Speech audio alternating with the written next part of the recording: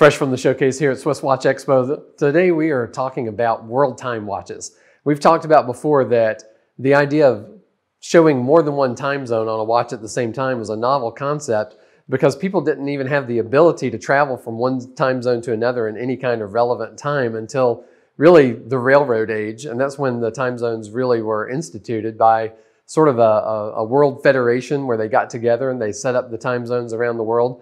There are 24 main time zones that split the world into uh, 24 one hour increments based on where the sun is at noon in that time zone. So they're not exact. Uh, there's a, a, a wide uh, expanse in some of those time zones. Some countries use uh, one time zone for the entire country, like China, which uh, ought to span five different time zones, but they use one.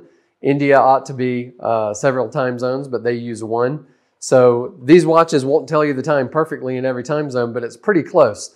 Uh, a famed Swiss watchmaker named Louis Cottier in 1931 figured out the idea of being able to show all 24 main time zones at the same time on a watch. This led to the development of the Patek Philippe World Time, and it's one of the watches that Patek is really known for. We've done a separate video just on this watch before, so you might look that up. But this is one of my favorite all-time watches. Um, it's the reference 5110P. This one's in platinum, and it's absolutely gorgeous. It's a 37 millimeter watch. Really nice size for anyone to wear, even day to day.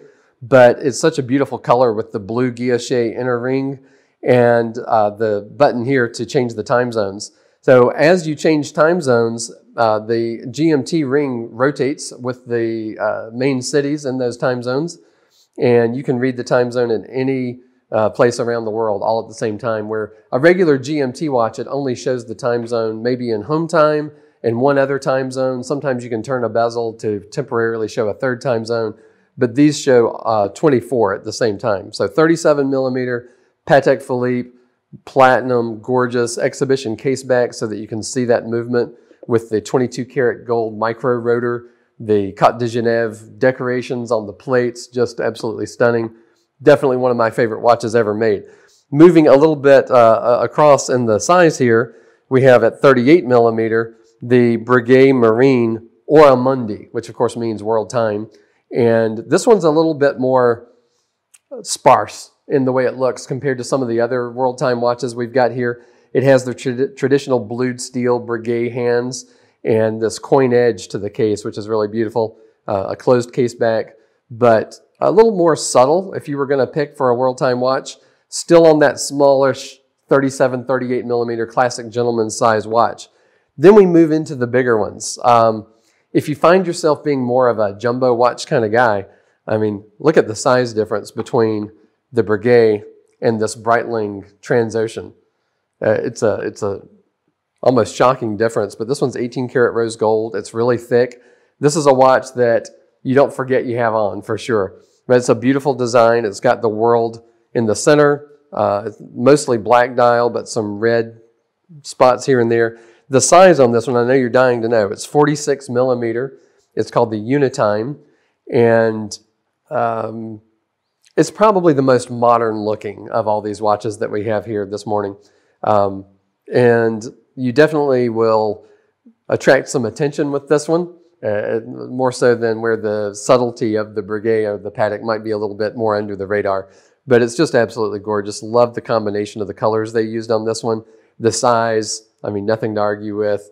Um, and it could be a good choice, definitely, for a lot of people. Now, this one, uh, this one is the Omega, and this is an Aquaterra World Timer.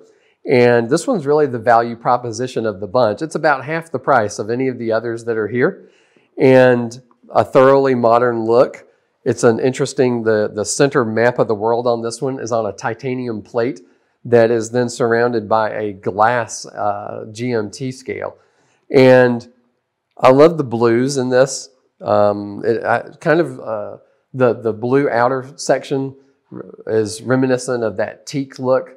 You know, Omega on the Aquaterra, they said that the dials, uh, they represent the teak decking on your yacht. So uh, definitely can see yourself as the yacht master, uh, the one who's in charge of the yacht, who is also a world timer, part of the jet set wearing your, your uh, Omega.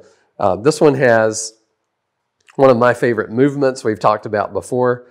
This is the um, uh, 8938, they call it, on the world timer, but it's essentially the same movement as some of the other coaxial master chronometers. It has the double barrels, it has the Cote de Genève in arabesque, just gorgeous on the movement exhibition case back, so you can appreciate all that. Um, if you check out this one on their website, you'll see what I'm talking about, about the pricing. Of course, this one is steel and the other ones are gold and platinum, so there's a big difference there. And Omega being a, a company that's really prides itself on being the value proposition compared to some of their competitors, you're going to see a lot more movement for the dollar uh, from Omega than you do from other companies. But if you want that exclusivity, there's nothing like the Patek. If you want the large size, nothing like this Breitling Transocean. And if you like your uh, watches a little more subtle, go with the Breguet. But uh, you can look up some of those other videos we've done on World Time watches. Click the bell, like and subscribe, and give us a call at Swiss Watch Expo. See which ones of these we still have in stock. We can find the perfect one for you.